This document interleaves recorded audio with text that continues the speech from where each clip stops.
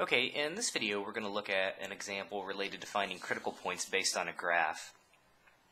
And the main thing to remember, critical points happen, uh, there's a, a couple different conditions that we look for. So we either think about where the derivative equals 0 or where the derivative is undefined.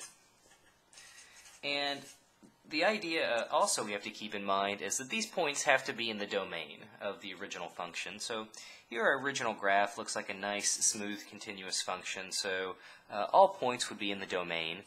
And what I'm going to look at now, so we have kind of a, a few different x-coordinates, you know, negative 6, negative 1, positive 5. I've got 10 listed here. We want to know at which of those x-coordinates, again, do we have a critical point? Well, the derivative is going to equal 0. If you think about the derivative equaling 0, that means the slope of the tangent line has to equal 0. Well, at negative 1, um, it looks like the slope of that tangent line could certainly equal 0. So I would say at x equals negative 1, that's where the derivative equals 0. So in that case, uh, that would be one of my critical points. The other place you have critical points are where the function, there are any, we call them cusps anywhere there's kind of any sharp points, any abrupt changes in direction.